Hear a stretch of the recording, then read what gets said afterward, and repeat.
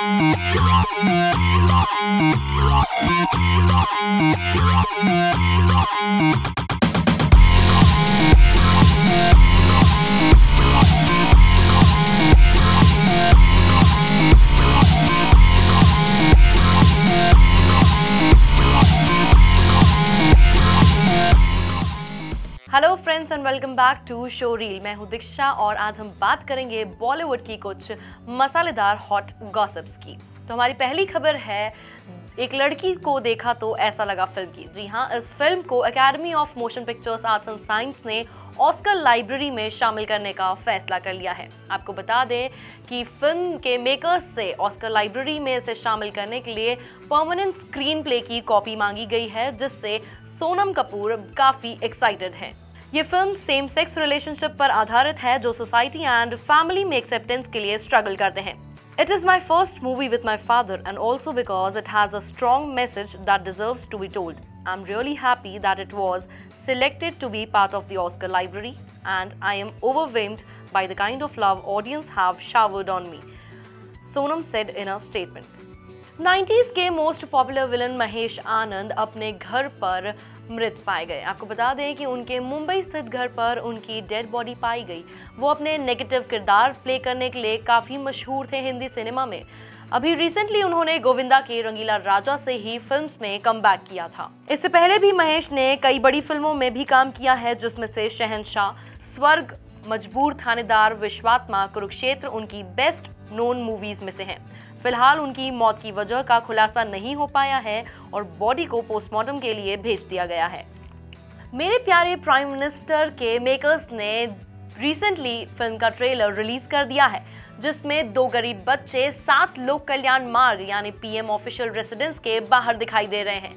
आपको बता दें, ये फ़िल्म ओम प्रकाश मेहरा ने बनाई है, जिन्होंने पहले भी हमें कई हिट फ़िल्म दी हैं, जिस तरह से रंग दे बसंती, भाग मिलका भाग।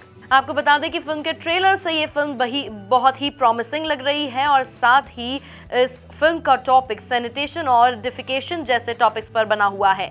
इंडियन सोसाइटीज के काफ़ी सारे टैबूज को भी ये फ़िल्म दर्शाती है। अब देखना होगा कि ये फ़िल्म ऑडियंस के दिल और दिमाग में जगह बना पाती है या नहीं।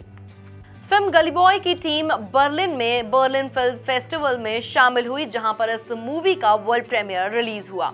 आपको बता दें कि फ़िल्म की पूरी टीम ने एक प्रेस कॉन्फ्रेंस भी ऑर्गेनाइज की, जिसमें रणवीर सिंह से एक सवाल किया गया कि इंडियन रैप और वेस्टर्न रैप में क्या फ़र्क है तो उन्होंने कुछ यूँ जवाब दिया। रणवीर का कहना था कि इंडियन रैप यानी हिंदुस्तानी हिप हॉप एक बिल्कुल फ्रेश और यूनिक जॉनर है। इस फ़िल्म से पहले बहुत ज़्यादा लोगों ने न तो इसे किया है और न ही देखा है। अपना टाइम आएगा की पॉपुलैरिटी को देखते हुए रणवीर को लगता है कि इस जॉनर के म्यूज़िक में वो पोटेंशियल है जो बहुत से दिलों तक पहुंचेगा, जो इस सॉन्ग ने प्रूव भी किया है। अमेरिका में ये ट्रेंड 80s का है, जबकि इंडिया में ये नया है। इस तरह का म्यूज़िक म्यूज़िक इंडस्ट्री में एक रेवोल्यूशन लेकर आ सकता है।